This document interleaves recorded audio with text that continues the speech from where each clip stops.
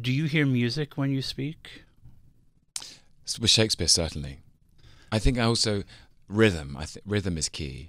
I mean, I don't feel as I speak to you now that it's particularly musical, but um, I think uh, with these great playwrights, they're aware of rhythm and music. They're Because- aware. There's melody, particularly in Pinter. Yes. It's a very kind of um, I don't want to say jazz because that's that's not it. But there's in the pauses in the air. Mm. There's melody. There's Mm. knowing when to kind of stop and then hit the chords again. Yes. Great writers, to me, write in melody and in rhythm. Well, as you, there's an amazing uh, example, a couple of examples actually. Shakespeare does the same thing. Um, so obviously Shakespeare writes in iambic pentameter, um, uh, which is which has a highly rhythmical um, uh, pace. Di dum di dum di dum di dum dum.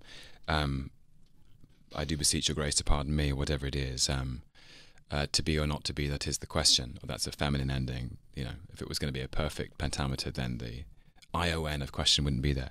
But sometimes he writes in these pauses. So in Coriolanus, in that great final scene, um, there's a um, a gap in the line. Oh mother, mother, what have you done? And I think the pause that Shakespeare writes a pause in because because he understands the character is so shocked. And I think Pinter does the same thing with more regularity. Um, and anyone who's read a Pinter play will understand there are these pauses, but also silences.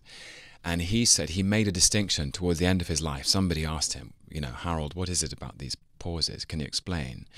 And he said, a pause is when a character is uh, expecting the other person to speak or has decided not to say the thing they were going to say.